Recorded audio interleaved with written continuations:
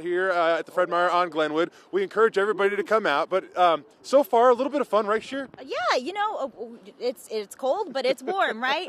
warm hearts. Here you go. Yeah. And we have a special guest yeah. here too. How about this? Uh, a legendary baseball coach throughout our area, Russ Wright. Um, I don't know how many state titles you won out there at Fruitland, but now you've made your way over to the new high school, Owyhee High School, and, and you got a lot of your boys out here this morning help helping us out. Uh, what, why, why, why, what made you guys want to come out and help out today? Well, I, I would say that our kids learning how to perform some community service is big. Um, to be able to get back to our community that supports us, helps build our facility, helps build our program, kind of a big deal for us. And, and being a new school, you yeah. know, kind of taking our our place and doing that. So mm-hmm. excited to be here, even though you got that wind blowing out of the east. let me tell you, you know, yeah.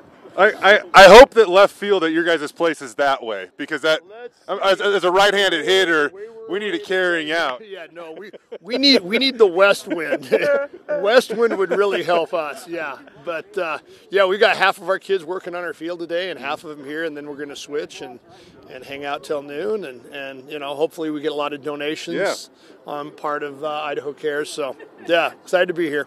Russ, while we have you here, let's ask you a sports question. You're building this program from the, the ground up. How are, how are workouts going and how's everything going?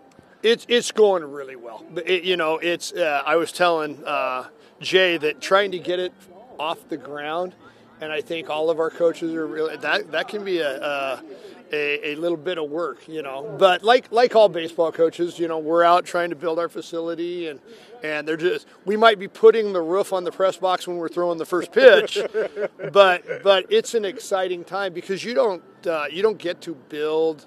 Um, a program from the ground up very often. Most times you walk in and you might have to change culture, add on to culture, do a few improvements, but you don't get to put your fingerprint on it. And so you know that was the exciting part for me you know. Even being an older coach and and you know it might not be a 20 year project you know but to be able to do something yep. entirely new was really cool i thought. Well coach wright we appreciate it. We appreciate your boys helping us out this morning. Awesome stuff